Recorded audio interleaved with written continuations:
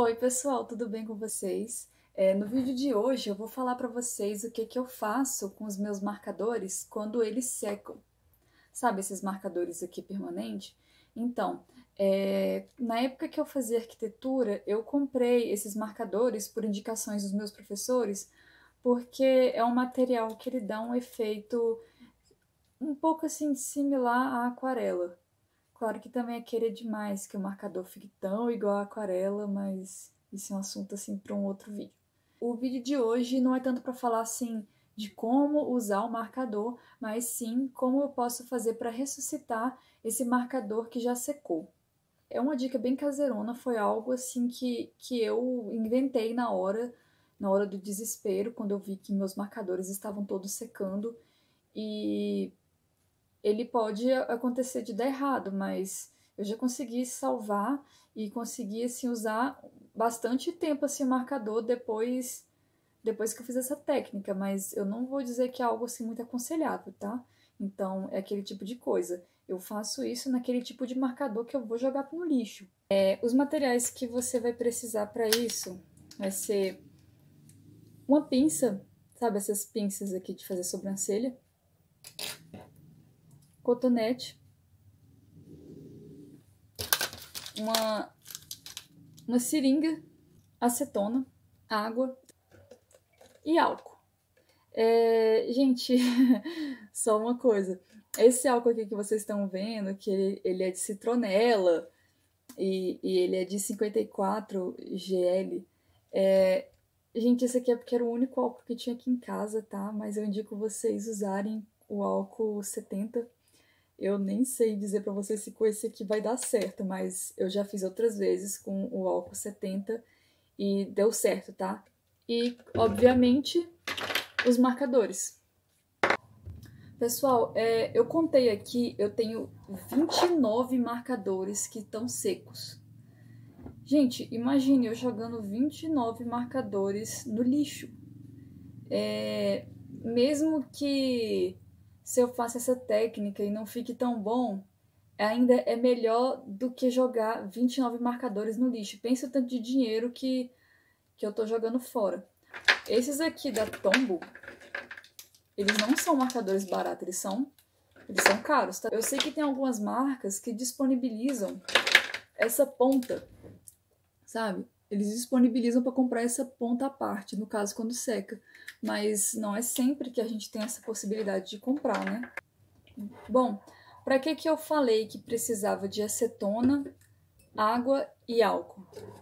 Porque os marcadores, eles serão solúveis ou a álcool, ou a água, ou a acetona.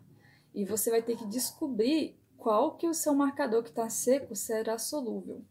Por exemplo, tem alguns meus aqui que são esses da Magic. Eu já testei outras vezes, pois é, galera, eu já fiz isso outras vezes, inclusive eu já fiz isso em algum desses marcadores que estão aqui. Eu, eu sei que ele é a base de acetona, ou não sei se, se o certo é falar que ele é a base de acetona, mas eu sei que ele dissolve em acetona. Eu sei porque eu já testei outras vezes e cheguei a essa conclusão, é o que deu certo. Olha aqui, ele não sei se vai dar para vocês verem, mas ele tá riscando bem falhado. Tá vendo aqui? Tá falhando bastante aqui o, o risco dele. Então, o que, que eu vou fazer? Eu vou pegar essa pinça vou retirar essa, essa pontinha dele aqui. Meio chatinho, tá? De tirar com a pinça, mas é assim que dá certo. Eu tô vendo aqui, aqui embaixo que ela até que não tá tão seca, mas eu vou colocar mais acetona e vamos, vamos ver o resultado.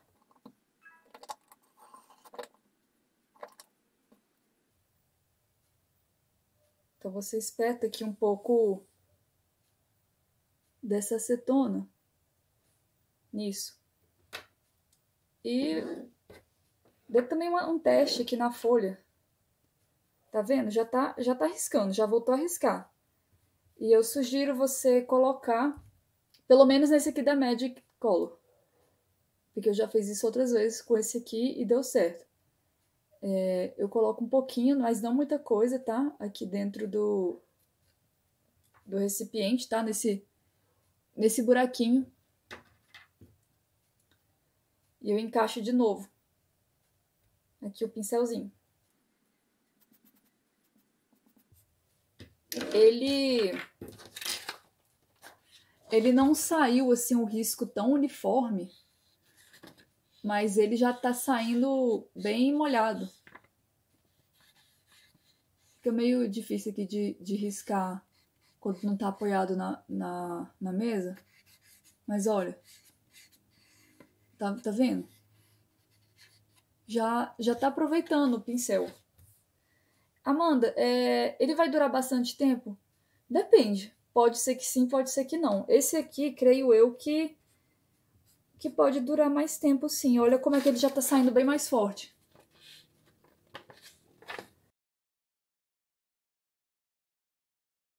Como que a gente descobre qual será o material salvador do teu marque? Bom, eu tô aqui com esse marker cinza da Faber-Castell que tá seco. Ele não tá completamente seco, mas ele tá um pouco seco. E esse aqui, ele, ele tá funcionando normalmente. Então, no caso, eu vou, vou consertar esse aqui. E, bom, eu tô aqui com o papel...